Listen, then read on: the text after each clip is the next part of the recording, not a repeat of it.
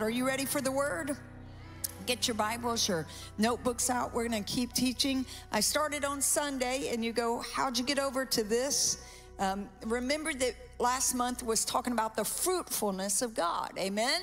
How many of you know that God is has fruitfulness for us? We were looking at our life, we were examining, we were, you know, that that fruitfulness often comes through some purging and pruning and different things. But Pastor Brad ended on saying what? Keep the lights on keep the lights on. Look at somebody say, keep the light on.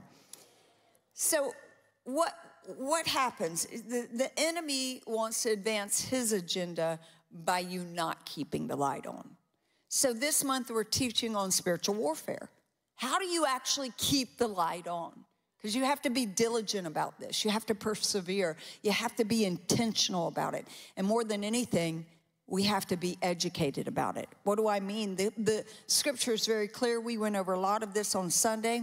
Uh, 2 Corinthians chapter 2, verse 11. I'm going to do a really quick review. Lest Satan should get an advantage of us, for we are not ignorant, right? Unlearned, ed, uneducated of the wiles or the devices, which means the purpose, the disposition, and the thoughts of the enemy. So we're, we're not ignorant because if we are, we perish, right? We perish because of what? Lack of knowledge. So, number one, I actually have seven points tonight. Is that okay? And I've given you four of these already. Number one is you cannot defeat an enemy that you're not aware of. We went through that. There's two kingdoms kingdom of darkness, kingdom of light. There's this constant battle going for, over the human race to seek control over that. Point number two there were 10 principles you must know. If you don't know them, go back and watch Sunday. Is that good? Boy, this is a quick review. Point number three, you ready? Point number three. You have a biblical mandate as a Christian to overcome this evil because evil is something, it is not, or excuse me, evil is someone, it is not something, right? And evil is who? Come on, guys. Old Testament, Satan. New Testament, his name is the devil. You guys are great. Ready? Let's pick up right there. Can we pick up there? Because we're really going to, we left off with point number four. So let's just do a little bit of recapitulation here. Satan has the name that means to oppose or to resist. That's what Satan's name means. He's the one that opposes and resists you, opposes and resists God's purpose in the earth, opposes and resists God's people in the earth, God's plan. And so, as the people of God, we have to recognize that Satan is the adversary, he is the resistor. Now, that's important because sometimes you think it's people stopping you. But how many of you know no man can stop what God has called your life to be? No man can stop the plan or purpose of God. And sometimes even good people can be used by bad spirits. I would venture to say that even many of us at times have yielded ourselves to a spirit that, that probably we shouldn't have. In a moment, we lost our temper in a moment we've said something that we didn't want to. Today, I think we'll get into this deeper and be able to understand how even good people can be used by bad spirits. So we always want to every single day pick up our cross and follow Christ. We have to decrease so that he can increase. So the second name is devil. And this one means what? This is so important. It means the accuser and the slander. And this is his greatest function. Only see devil in the in the New Testament. The main weapon that Satan uses against you daily, and I'm going to pick up here, is that of accusation. And that's really where we left off. I'm not going to review Lucifer because he wasn't always Satan as we know. His name was Lucifer. He was a chief angel. He was beautiful. When he walked down the corridors of heaven, the wind of God would blow. He had pipes that protruded, and this beautiful sound would come out. That's why he hates your praise. Because every time you praise, every time you open your mouth and say, Lord, I glorify you, I bless you, thank you for this day, thank you for your goodness, I love you with all my being, I love you with all my heart. Satan is reminded that he lost his position and will never ever have it again. That, that, that mere man, that mere mortal, come on, that mere piece of dust got his high position to go into the very holy of holies and commune with God. No wonder Satan hates you so much. Your praise is a powerful weapon. We talked about the four things that are the most powerful to overcoming the kingdom of darkness. Number one, the word of God. And this isn't in a specific order. Number two, the name of God. In the name of Jesus, come on, he's given you a name which is above all names. Number three, the blood. Some of you got to get old fashioned sometimes and just, I plead the blood. Sometimes I just start walking around saying the blood, the blood, the blood. I plead the blood in the name of Jesus. Every time I get in my car, I plead the blood of Jesus around this. Every time we get on a plane, I speak to all storm, storm turbulence, anything that the enemy's got plotted. I put the blood of Jesus over this plane right now. Every time my comings, my goings, I plead the blood. I walk around my house, I put a bloodline. I told y'all what Papa did, what Archbishop did. Archbishop got some oil and he got some, he said, go give me some grape juice. And he got some grape juice. And Tawny came around and he started going around speaking in the spirit around our house. And then he, he started putting that grape juice and the oil and he put a line all on our property line. He said, anyone that comes to do destruction, anyone that comes to do harm, any enemy that comes to bring any curse, anything on this house, he said, let them drop right here. He, well, he said, let them drop dead right here in the name. So I was told, if you see dead people in my yard, it is not my fault, I promise you. It is not. But thank you, Papa. I receive it in the name of Jesus. So I just believe that. I really enforce that every day. I get up, walk out the door, take Rocco for a walk, and I say, Thank you, angels, for watching over and protecting us. Thank you for the blood of Jesus being over this house. Don't take for granted that blood, it's so powerful. And then one of them people would say prayer, and prayer is powerful, but prayer brings the will of God to pass in the earth. Prayer is the vehicle that brings the will of God to pass. So it's a weapon, but your praise is a weapon against the enemy. It's a, it's a, your praise. Remember when Paul and Silas were in the jailhouse and they began to pray and they praised. And as they praised, the bonds came off. So we begin to understand that these spiritual uh, forces of evil who not only have authority, but they, they seek to exercise that authority to dominate and to rule. They're persons without bodies. These evil spirits, including the devil, are in opposition to God as people. Um, we looked at two pictures of Satan, Revelation chapter 12, verse 9. The great dragon was cast out, the serpent of old called, dev, called the devil and Satan, who deceives the whole world. So the Satan can operate operate like a dragon who is fierce, it's good, and the beast are behave like a snake who is subtle and slippery. He, Jesus gave another picture of Satan in John 10 10. The thief cometh not but to what? Steal, kill, and destroy. And in conclusion, here we go. Steal means to take away that which is rightfully yours, to take your inheritance from you. The devil is a liar. Don't let anyone, come on, don't let any devil take your spiritual inheritance. Fight for your children. Fight for God's promises. Come on, fight for that which belongs to you.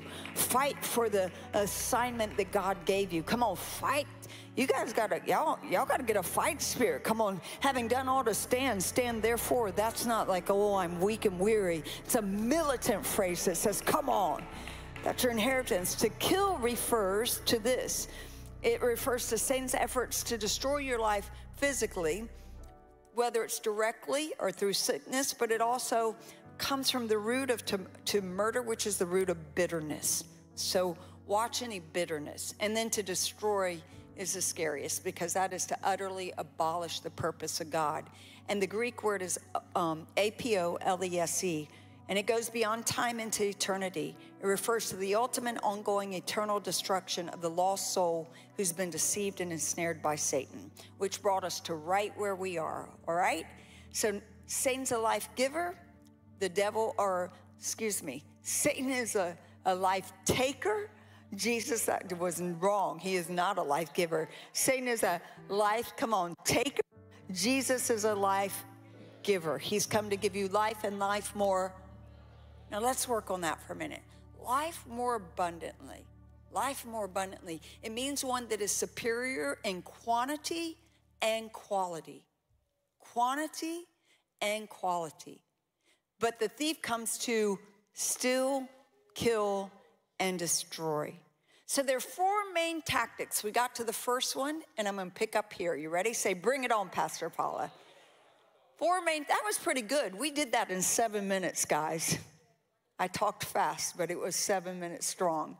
Ready? Four main tactics that Satan uses against you. I think it's, it's good to review this first one because the first thing that he does is accusation and slander. Now, think about this because um, we are not to judge another person. The moment that you begin to judge, you're bringing accusation against them, even at times slander. And the reason for that is because when we do that, we're operating in the nature of the devil. He is the accuser. Now, especially if it's not your position of authority, if, if you're not in a position as a, a, father, you know, if you're not in a position, there's different positions of authority, right? A pastor, a boss. Amen? Y'all are looking at me funny right now. So, what does Satan do? How does this operate? Because Pastor Brad would say stuff often like, Satan lays claim to you. And I'll give you those, those different ways, and we could sit here and talk all night. How does Satan actually lay claim? How does the spirit world work? Because if you don't understand this, you can be the you can love God with all your being. But you will live less than what God has called you to live here in this earth unless you know how to legally engage in the rights that God has given you through the finished work of Jesus Christ, of not just knowing that He finished the work, but being able to appropriate the cross. That is so important that you have the appropriation of the cross and the finished work of Christ Jesus.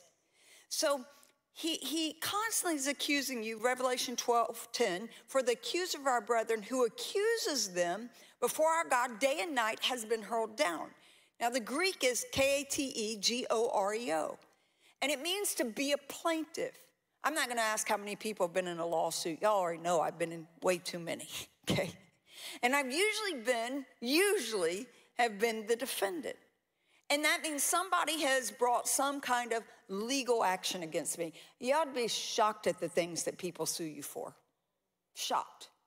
I mean, some things you understand there's accidents that take place or things that happen, and, and rightfully so, you carry insurance because you don't ever want anyone to get hurt on your property.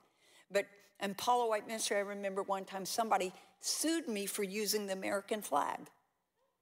And because of our legal system, I had to go through a lawsuit to defend myself for using the American flag for under 30 seconds.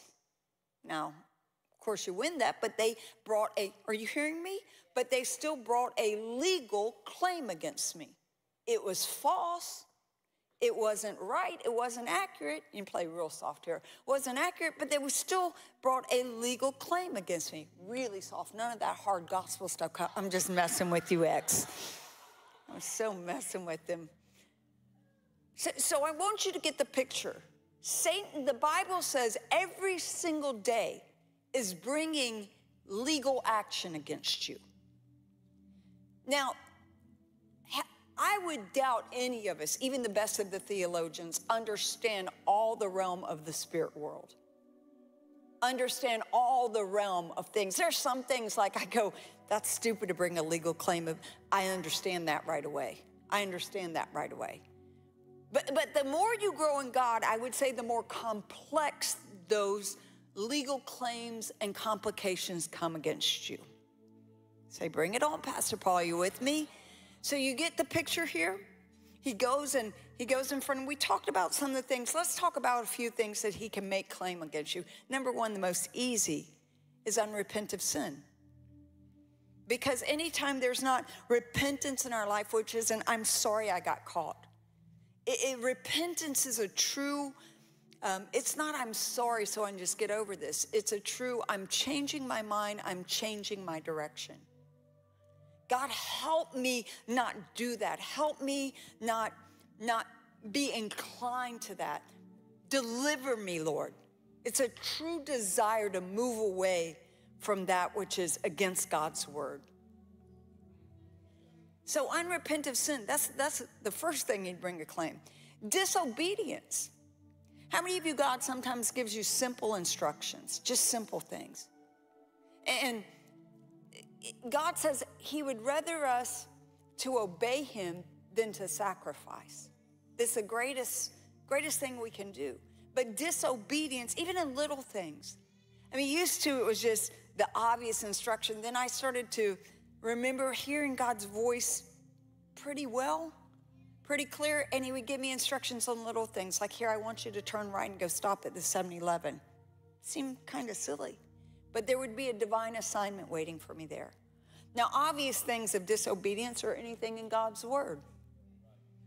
When you are not obedient to the word of God. So, one of the things we talked about, what can he make claim on you? Unforgiveness. Unforgiveness is if you retain someone else's sins against them, he can retain sins against you. There's a whole lot disunity. I mean, you think it's okay to just go and, you know, pull out of a church or pull out. It's it's not okay. Not without a lot of consequence. Not without a whole lot of consequence. How many of you would ever just think and I mean, Demetrius, you're married to the most beautiful person. I'm not sure how that all happened yet, but anyway, can you can you imagine like if crazy got in your head and you just thought you could not show up at home one night? Tell me how this is going to work out for you. And you're just going to leave, and then two nights or two weeks from now, you're to go jump in bed with Lulu. How's that to work out? Crystal's like, Crystal is good. Crystal's like, that ain't gonna work out good. No, Crystal's like, honestly, how's that gonna work out? he's asking permission from Crystal to speak right now. No, I'm totally kidding. It's not gonna work out to, huh?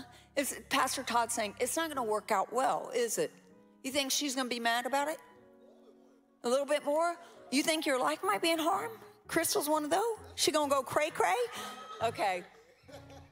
Seriously. And, and she could bring not just, I mean, not with that just emotionally and physically and financially and spiritually and every other way be devastating in all seriousness. But wouldn't you guys think that's pretty crazy? Yeah, I got to do some deeper pastoring here. Y'all are all okay with that? Come up and repent now in the name of Jesus. You guys would think that's absolutely insane. Eli, right? But look what we do all the time. We pull away from the bride of Christ. We pull away. And then we just go to another church. We, have joined here under covenant as a member, but part of a body. You've taken on that as covering you, and then thinking just go away and go to another church and go away. Now, there's a right way to do it. There is a right way to do it. There's a biblical way.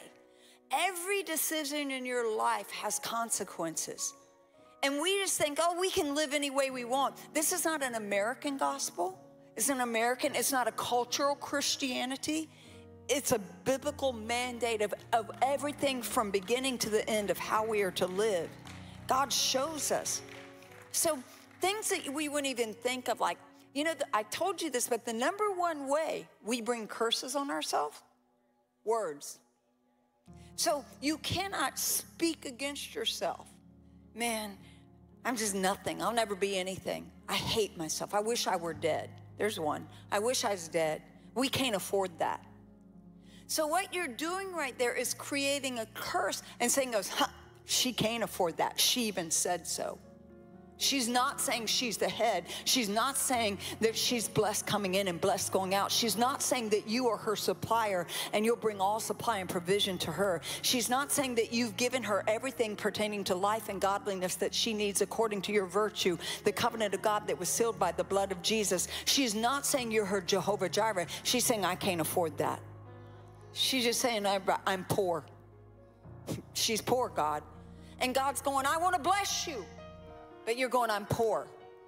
So Satan can use that accusation against you at all times. You might can say something like, you know what, in the natural right now, I don't have a lot of substance, but in Christ I am rich.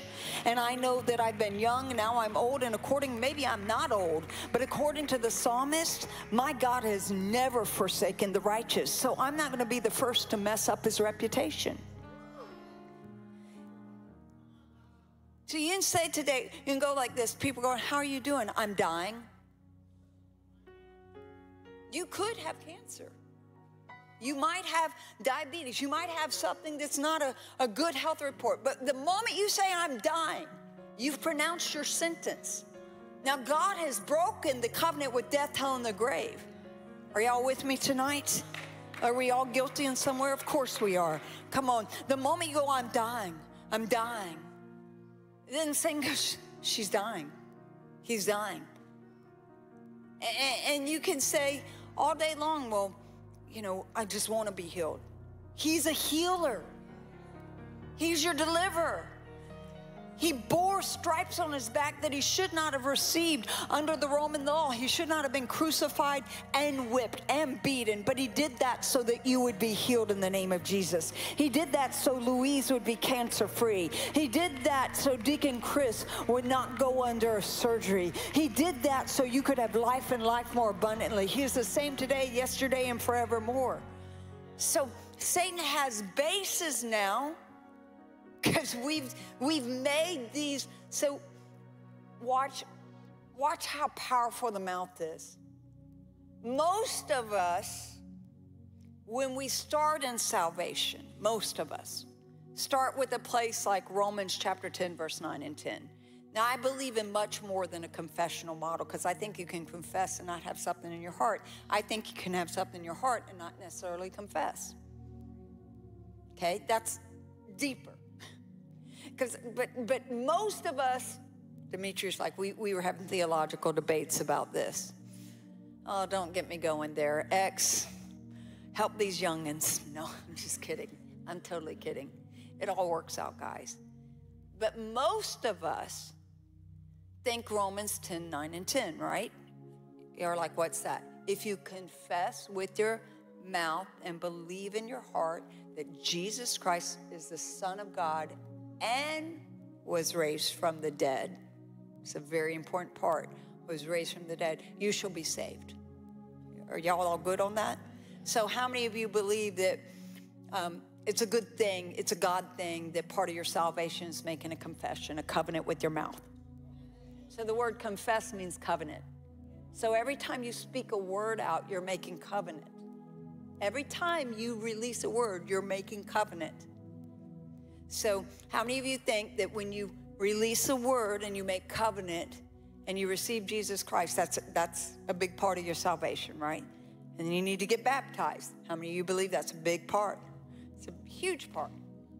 Now, why do you believe that that confession, what came out of your mouth, is so strong that it unites you with an Almighty God, but what you say against the Word of God does not unite you with Satan?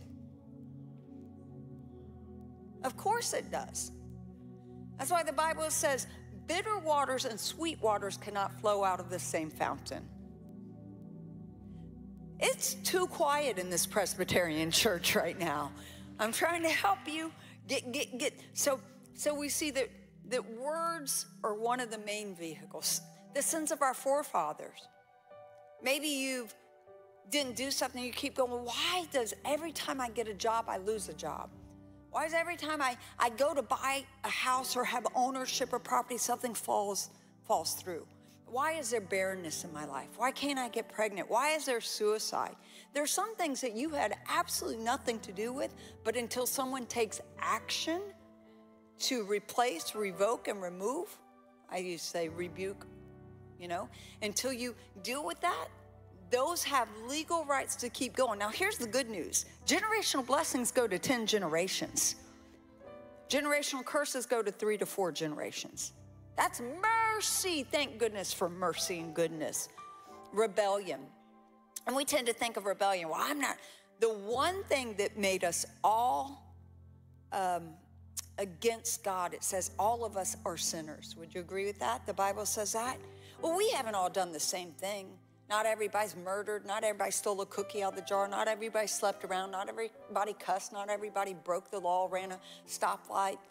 But the one thing we've all done, the one thing we've all done, according to Isaiah, is we all have been a rebel to God.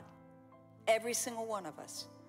And so we can say witchcraft is the sin of rebellion. But, but there's little things that are rebellion. I, and I shouldn't say they're little things because they're big. How many of you would be honest, and I'll be the first to say, there have been times in my life I've had fear. Anybody else had fear? Worry, anxiety, stress, preoccupation, rumination, fear. Fear is the opposite of faith. Faith is pistis, it's to trust. So the opposite, without faith, it's impossible to what? Please God, be in agreement with God. So the just shall what? Live by faith. So the moment that I get in fear, worry, preoccupation, stress, anxiety, the moment I get there, I'm in direct opposition of faith, of trust. God doesn't say, trust me with, like, what's something easy? I can trust God with finances easily. I, it just is an easy thing for me to trust God. But what if, um, okay, relationships harder for me to trust God because of my background, my past. So what if I go, well, I trust you with, with, with finances, but man, I don't know. Right now, I, I don't, I'm looking at everybody suspicious. No, God doesn't say you can trust me with one thing, but not another thing. We all have different propensities. So now you're in fear in some area. And if you stay in fear and don't deal with that, fear becomes doubt.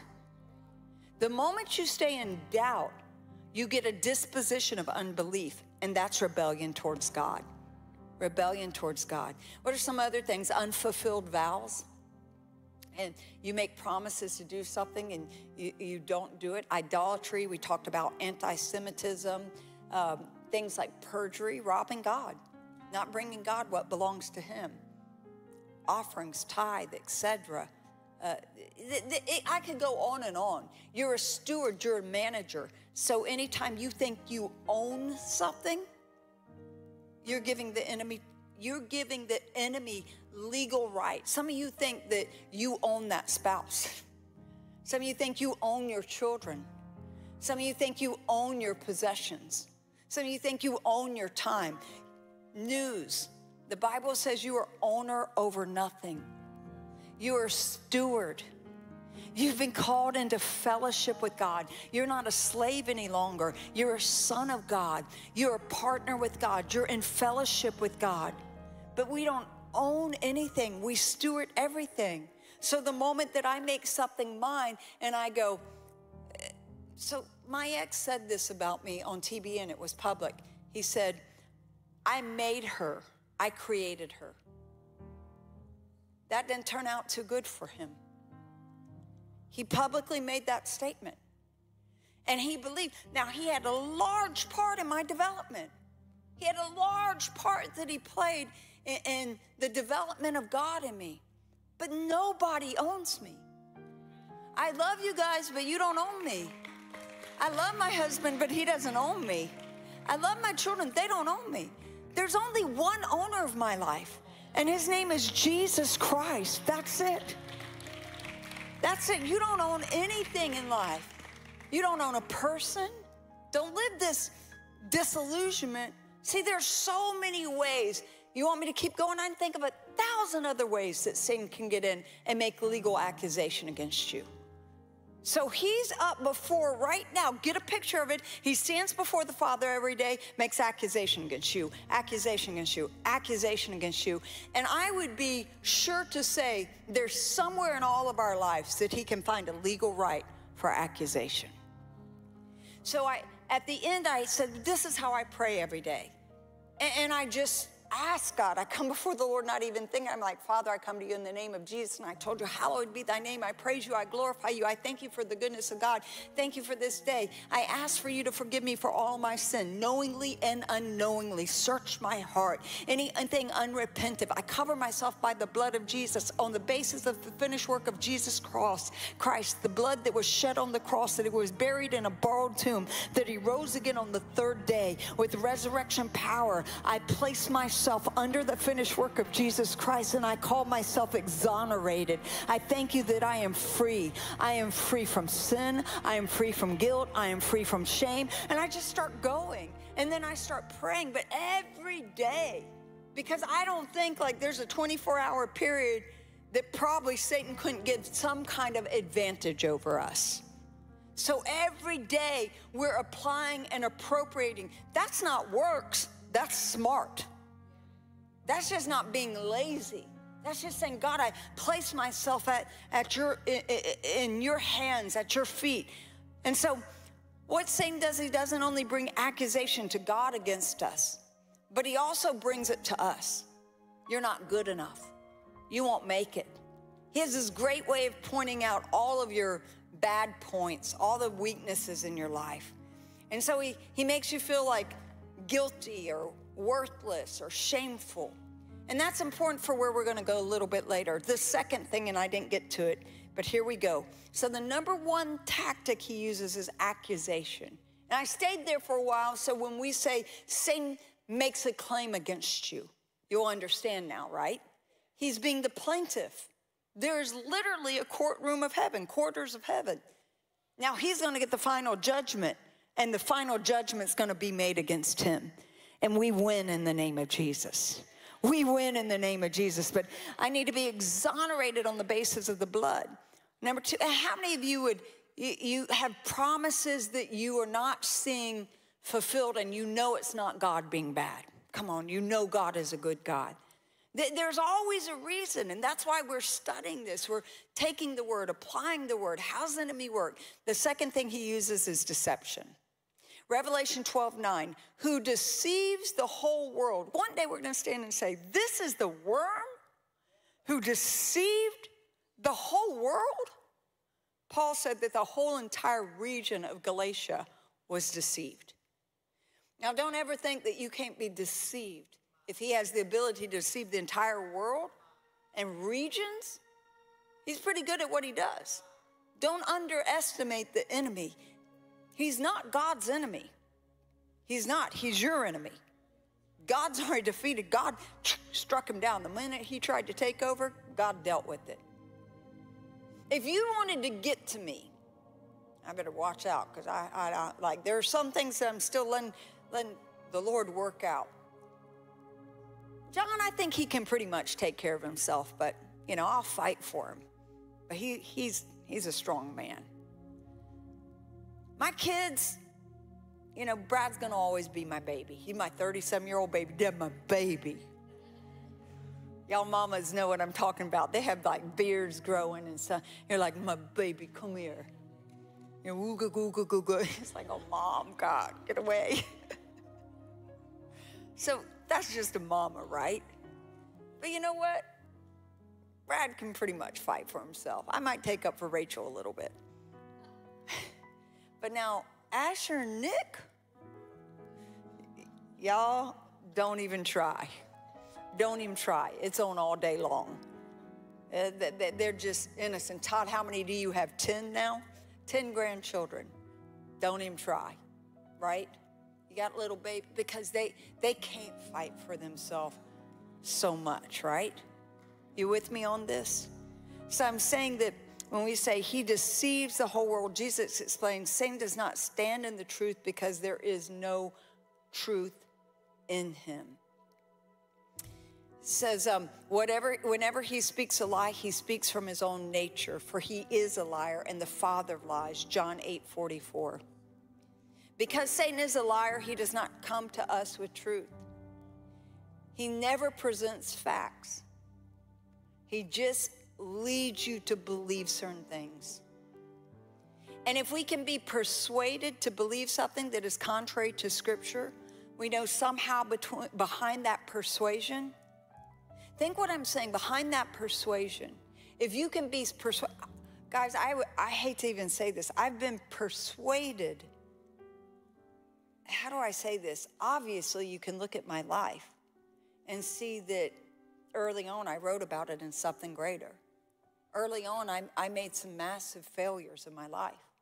Not because I was a bad person, not because um, I didn't love God. It wasn't. It was because the enemy came after me and I didn't know it was the enemy. I got prideful. I thought I was really doing something that nobody else was doing. 21 years old. Oh, look at this. Y'all must not be doing anything. If God's just growing this youth group like that, that's pride. Thought I was doing something. And next thing I knew, I write about it in something greater. Uh, there, was a, there, was, there was sin in my life. There was sexual sin in my life. So it was really hard for me later when I got accused of things when I'm in my 40s and 50s because I wasn't doing anything in my 40s and 50s. I can't say I never did anything in my life wrong, but I, you, you grow and you get things better. So I felt like I was getting slapped for having my hand in a cookie jar that wasn't in that cookie jar. And part of me felt, well, maybe I should get slapped because I had my hand in a cookie jar that nobody knew about 30 years ago. Why y'all looking at me like your hand's never been in a cookie jar?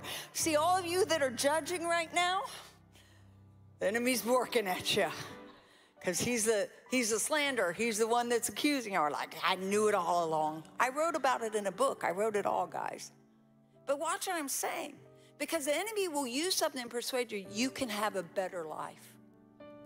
You deserve to be treated better. You deserve to be loved on. You deserve to be made to feel good. You deserve to be provided for. He doesn't even come home on time. Why are y'all looking at me like nobody else has ever sinned? He deserves. See, the enemy just doesn't come. He he persuades you. You shouldn't stay there. You can go to any place you want. You can work any place you want. You can go to any church. They're all the same. He persuades you. He persuades you to do things that feel good to your flesh. He persuades you to believe something that's contrary to the Word of God. Let, let me tell you something God told us to pastor. He called us to start a church. We, we had no money, we had no salary for two years. And this man came, I've told you this, with this contract. And it was a contract, he worked for the Miss USA pageant, and it was a contract with Universal Studios and Miss USA pageants that would have put us in all 50 states, and we would be gone on a Thursday through a Sunday and be able to fly home Monday, Tuesday, Wednesday. I said, well, maybe God didn't call us to pastor, and God had clearly called us to pastor. I said, you know, we're still doing the work of the Lord, and look, the, the world is paying for it, the enemy's paying for it.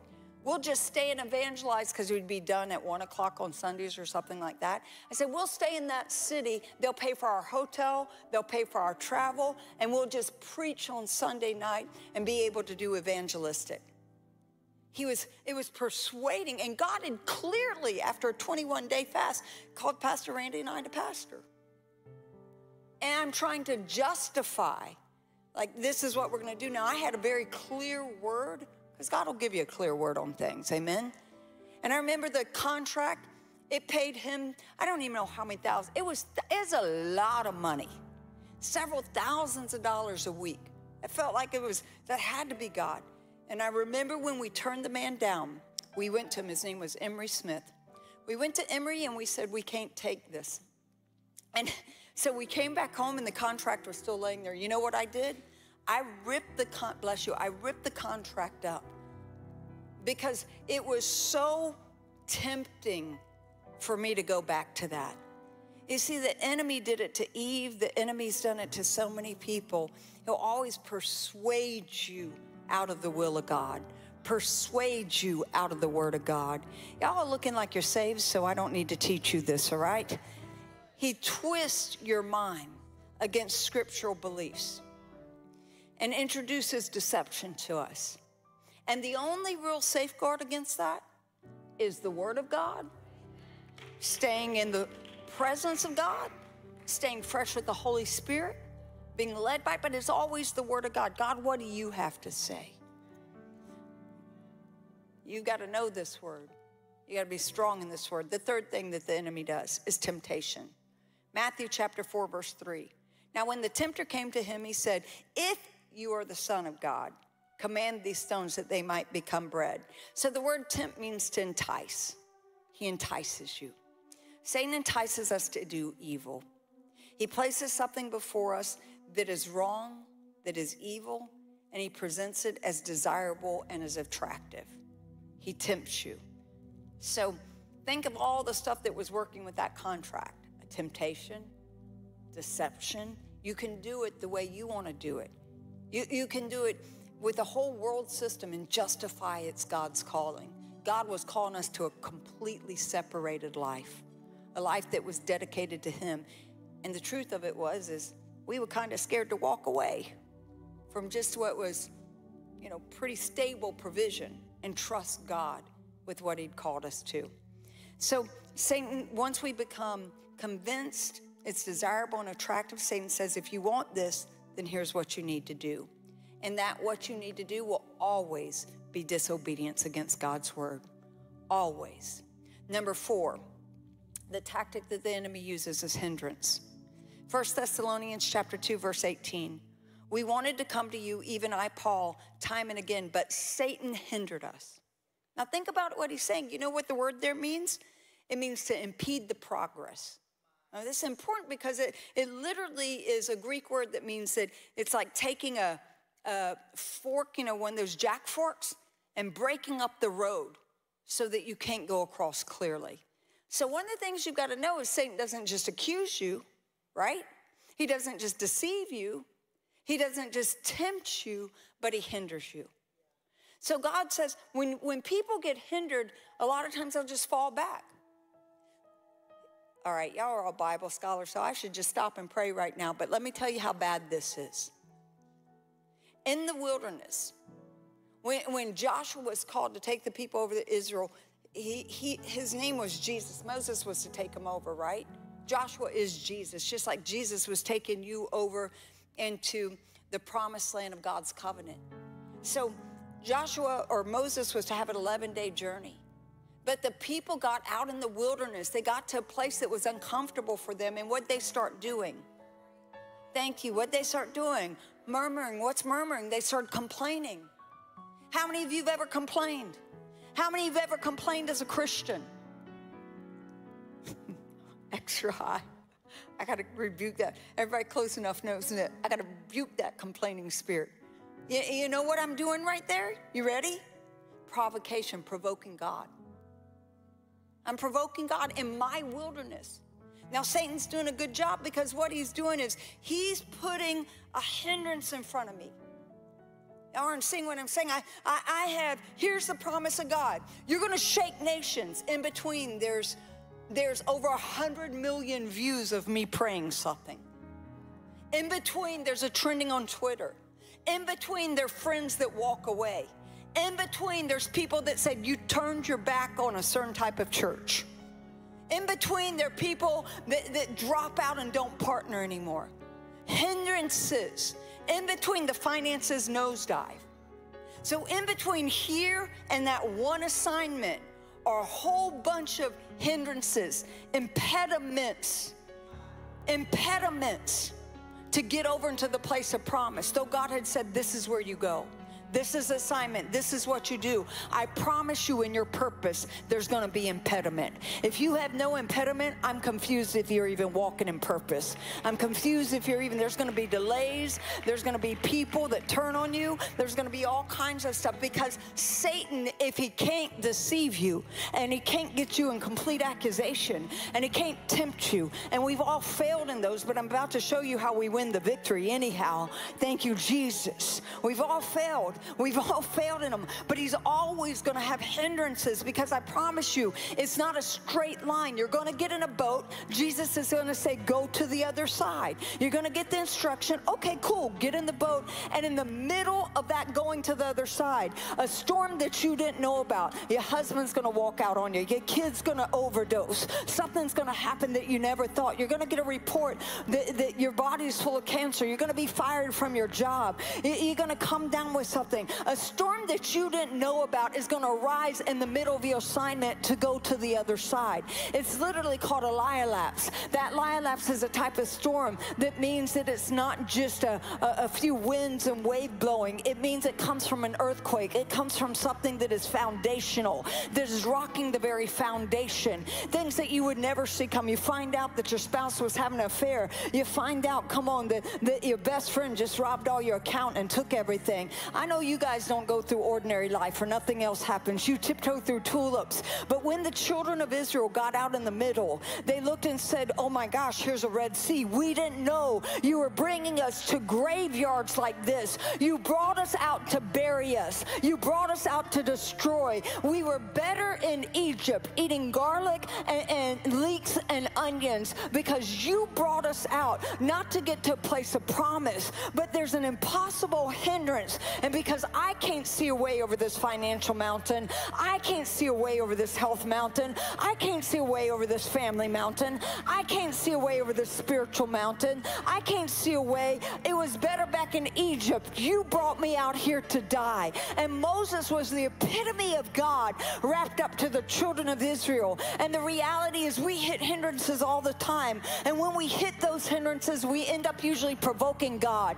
And the Bible says that there are two types of people those that draw near and those that draw back. And he says, Don't be like the children of perdition that drew back. Don't be when Satan puts that hindrance, that obstruction, when everybody's left you, when everything's gone wrong, when you hit that season, when your family's not there for you, when your pastor's not there for you, when your friends are not there for you, when things can happen on your timeline, where it's not the comfortable place of your life or the mountaintop, but it's a deep, dark valley that you're walking through. It's nothing left but ashes. When you are there, recognize that Satan is doing his job because something on the inside of you has a determination that you're going to keep going, keep pressing. Listen, I always say it, they don't go after the guy sitting on the bench. They go after the one that's holding the football. They don't throw stones at dead birds. Listen, they don't go after the person that's not doing anything. The fact that you're moving, the fact that you're going in the place, the fact that you decide,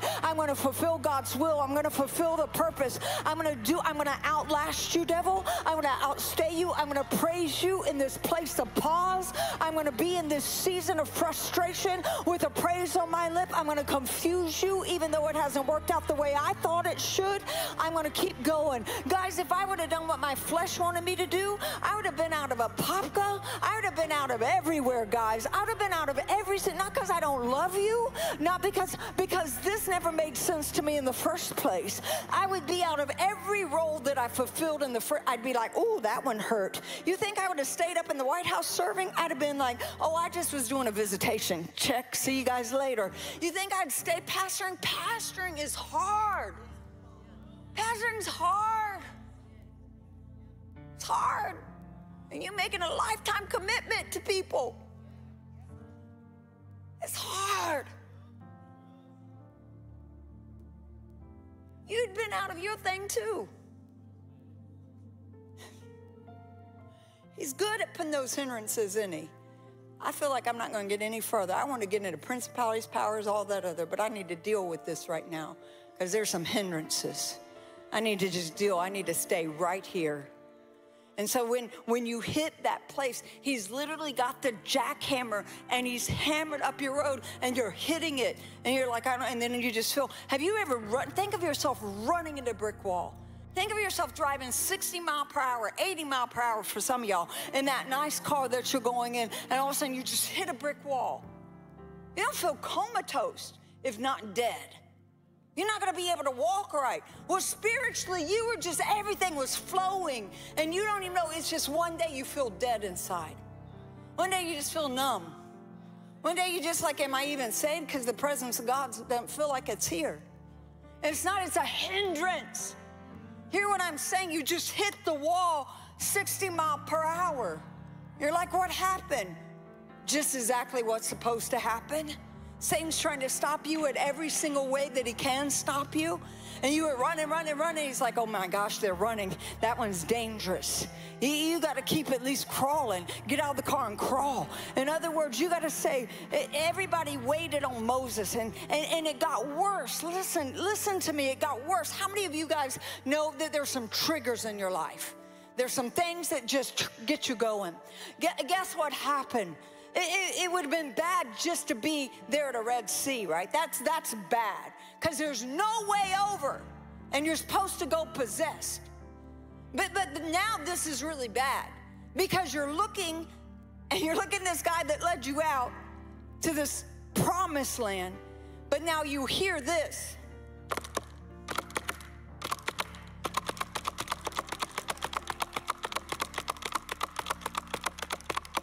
Now, that doesn't bother any of you because you weren't slaves in Egypt, because you didn't hear the chariots of Pharaoh.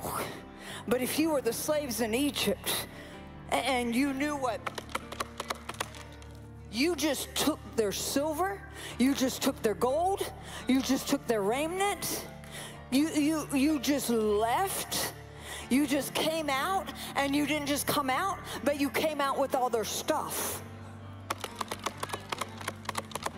See, you know it. Because if you've ever been abused in life, if you've ever been misused in life, if you've ever been hurt, you get scared at a shadow. You'll get like, because if you just smell something that smells like that abuser, if you just hear something that hears like that abuser, your whole body will tense up. Everything in you will go into fight or flight. Everything in you will go into trauma mode immediately. Not only do I have an impossible situation, now is this impossible? You don't think God knew there was a Red Sea? I promise you, your purpose and your call has a Red Sea somewhere in it. I promise you. And there's going to be a Pharaoh's army behind you. And now you've got it behind you, you've got it in front of you, and, and you're traumatized because you're being triggered because you don't even have to see Pharaoh. You can hear the sound of the chariots. The Bible said that they heard, they knew they were coming. It wasn't just something they were imagining. So can you imagine their blood pressure's going up? Can you imagine? Have you ever been under extreme stress? You thought somebody was about to hurt you, harm you? For those who've been traumatized, traumatized, those of you who've been through some stuff like myself, you know what happens to you physically, emotionally, mentally. And God says in the book of Hebrews, which means to cross over.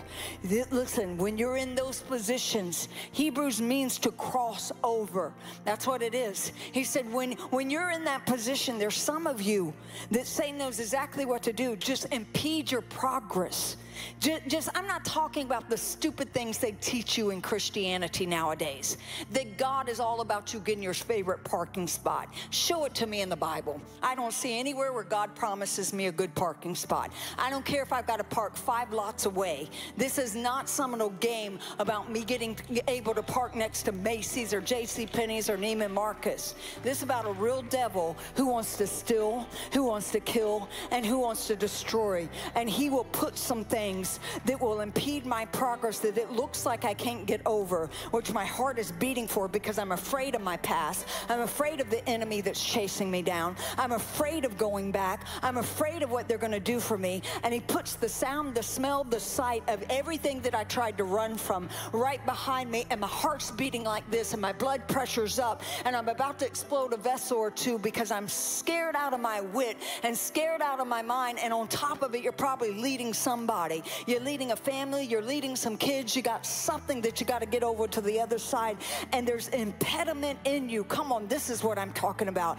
That Satan is good at what he does, and he's a he's a liar. Come on, he's a liar. And God says, cross over, cross over, cross over, cross over, cross over. And he reminds us throughout the entire book of Hebrews. He says there are those that will pull back he said, when you pull back, and he uses some harsh words in the Greek. He basically says you pull yourself into perdition. That's some serious language there. And he said, there are those that will come forth and they'll draw nigh. You're drawing nigh. I believe that you don't know how deep that is. You don't know if that Red Sea is two feet or 2,000 feet. You don't know if those waves, know, The movies make it look so good. Oh, Charlton Heston. Your Red, Red Sea does not look like Charlton Heston. First off, you don't got nobody that good looking leading you, just messing with you. It, it's not that perfect. It's scary. It's tiring. You can be sick for a day, be sick for two years. You can be broke for a month, be broke for three years. You can go to a, a tumultuous home for a year or two, go through it for five years, keep believing. Satan just keeps putting those hindrances. You know what God keeps saying? Draw nigh. Draw nigh. Now, this takes strong Christianity because you thought the hindrance was the easy one. Oh, this isn't about getting your favorite parking spot. It's about standing firm un- under pressure. It's about an endurance that you have to have. Don't feel it, you just do it. You do it because God says. You do it because even though Pharaoh's breathing down your neck and there's a Red Sea, you know that God's faithful. If you drown in it, He's got to resurrect you. You, you just, God, I can't drown in this. If I do, it's on you. I live that kind of world and relationship with God. I really do. If I drown God, this one's on you. But I'm going to put my foot in front of the other and I'm going to start walking. And I'm going to walk when it hurts. I'm going to walk when it's hard. I'm going to walk when I don't feel like it. I'm to walk sometimes even with a bad attitude. I'm to ask you to forgive me for the bad attitude when I'm walking, and I'm still to probably have it and have to work it out. Because life's not just this easy little thing. Because here's the danger when you get across that Red Sea, well, that's really just the beginning. I hope that you don't just mumble and complain in the wilderness the whole time and whole generation has to die off. But when you get across that hindrance, you start catching your breath, you get energized, you get good again, only for another battle ahead of you. Every time you're going to get stronger and stronger and stronger and stronger. And here's what it's all about. And this would be my next point and my last point. Ready? After hindrance, I would have taught you both the kingdom of God and Satan's hierarchy, but I'll do all that later. I didn't get nearly where I wanted to. Here's what it is all about. If I can find my point, I'll just say it.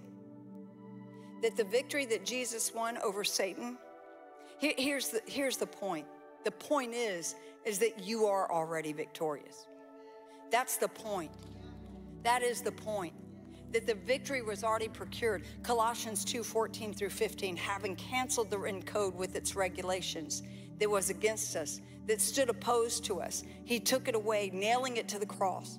And having disarmed the powers and authorities, he made it a public spectacle, triumphing over them at the cross. So the scripture describes God the Father, what he did through his son, Jesus Christ. That, that Jesus disarmed all of Satan's forces. Jesus disarmed all of Satan's forces, stripping them of their weapons and defeating them. The victory over Satan is not waiting to be won, it was already won. So you say, well, why am I going through the battle? Why am I being hindered? Why am I being tempted? Why am I being deceived? Why am I being accused?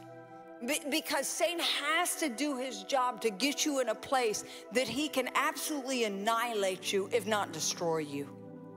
Absolutely stop you from fulfilling the plan, the purpose, the calling, and walking in the goodness of God. But I say to you that this, the devil is a liar. Because the, the only thing that Satan can really do is obscure from you the work of the cross. You aren't hearing what I'm saying. He can only obscure from you what was already done through the shed blood of Jesus Christ. That, that, when Jesus Christ raised from the dead, He gave you all authority, all power, both in heaven and in earth. Now, that doesn't mean the battle's gonna go away. It means that if you can make it through the small battle, Satan's gonna go, uh oh, this is a real force to deal with. You start lasting as long as Todd and I are lasting, excuse me, Pastor Todd and I are lasting, that's very dangerous. You, you start getting around like where, where you're putting 75, 80 years ministry between the two of us, that's a dangerous situation. You start getting around people. I told you I, I preached, um, they put a classic Paula up. And I would say this, Vicki, and everyone that knows how I, I preach and hoop and everything else say, I don't even trust you if you don't walk with the limp. Talk to me, Jacob. If your life was too per perfect, I'm looking at you going, What's wrong? What's wrong with you? Because anyone I know has certainly gone through battles with the devil. And if you're really going to be an Israel, one that prevails with God and man, it wasn't until he wrestled with God and God touched him in the seat of his own strength. He touched him in his hip that's a place of your, your strength in your whole body. And then he walked with the limp. I wouldn't trust anybody that don't walk with the limp. And the problem with our society, they like everything that looks good. Just because it looks good doesn't mean it is good. They, they don't like to know that you fell down. I want to know if you haven't fallen down, then you're not ready for stripes. You're not ready for the stars. You're not ready for the promotion. If you haven't gone knocked down at least a few times, if you haven't just fallen down and been able to get get back up. I can't trust you to go out there and be on. I've got to take you back to training. I'm hoping you can do this. I'm trying to get the intelligence in you. I'm trying to equip you, but I won't know till you get out on the battlefield. If everything that you learned in training is going to work for you, and if it doesn't, I'm going to put some people around you to help you out there on the battlefield. So when you get discouraged because of the hindrance, when you want to move back because of the trigger, when you want to freeze because there's a Red Sea in front of you. I'm going to put some people out on the battlefield with you that are going to help you cross over, help you make it to say, This is what I've been through. I did mess up, but God still gave me a worldwide ministry. God still covered me with His grace. God still said, Paula, I love you and I haven't given up on you. Just because I wasn't perfect, just because I started in a place and have a past that doesn't look like it's ministry material, doesn't mean that God disqualified me. Doesn't mean that God disqualified qualifies you. Doesn't mean that God doesn't have something great for you. Just because I had a bad day last week, come on. Just because I had a bad day, it wasn't 20 years ago, doesn't mean God said, You're done with Paula. But to whom much is given, much is required. I can tell you now, God requires more out of this 56 year old who still messes up. Come on. Who still, but not intentionally. I wouldn't do anything to ever hurt God or hurt a person. There'd be nothing inside of me, but God requires more of me as a 56 year old than when I was that young 18 year old girl, or 21 year old girl, or 30 year old girl. Come on, or 40 year old girl, because we're supposed to be going from glory to glory to glory to glory. Uh, someone called me this week, and I was, uh, and this person's in a very high position over a lot of people, and I was able to help them through some things. I said, I went through 20 something years of that. They're like, I've never met anyone in my life who's gone through the stuff you've gone through. And I won't even start naming it but I could speak peace and strategy into a situation